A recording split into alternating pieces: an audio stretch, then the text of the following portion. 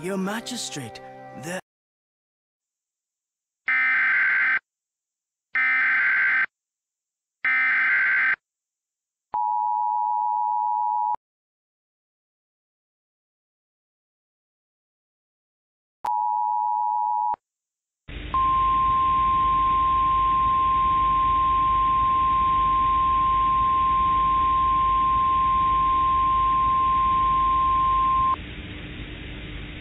The National Weather Service in northern Indiana has issued a tornado warning for Van Wert County in Ohio until 4 p.m. Eastern Standard Time.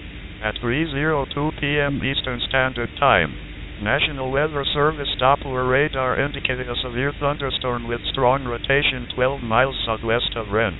Moving northeast at 40 miles per hour, the storm has a history of producing tornadoes.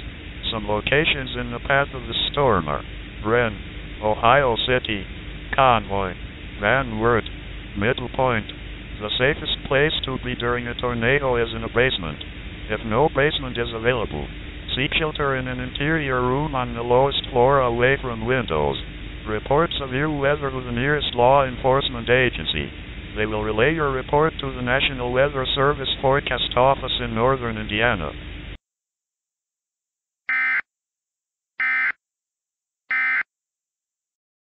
Okay, come on. We'll talk along the way. Grandpa, I wanted to say about earlier. Uh-huh. I was saying that, um, that, uh, hey, uh, what are we doing? Why, we're looking for some hundred-year tofu, of course.